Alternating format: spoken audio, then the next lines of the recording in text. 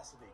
It will blow the doors off of this place. Damar Hamlin just showed up, and it looks like his mom and his little brother is there. Oh, That's we great. love to see it. Stay tuned. It's the Bengals, Bills, coming up on CBS. Good job.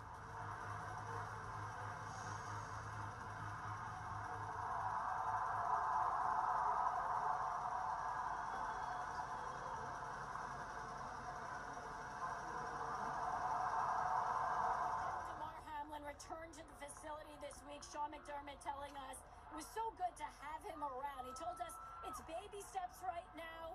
It's all completely up to Hamlin how involved he wants to be every day. A spokesperson close to the family said despite being out of the hospital, he still has a lengthy recovery.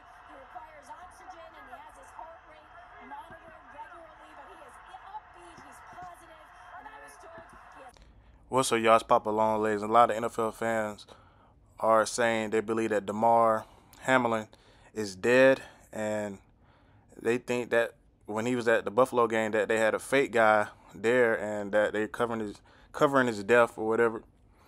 And you know, I, I was watching the game live, and I thought it was weird that they were showing him, but, but you couldn't see him because of the snow or whatever. Then when they actually did show him, he had a big ass ski mask on and some big old goggles.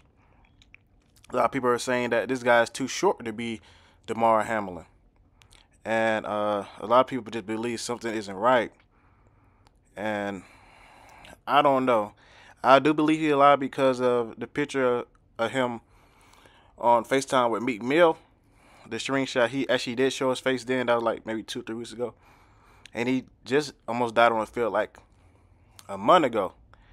But a lot of people just saying, yo, something's not right or whatever. But I don't believe it. If you if you believe he's dead, let me know in the comments. Let me see how you guys feel about. But I got some about Cumberland. Tell how you feel, man.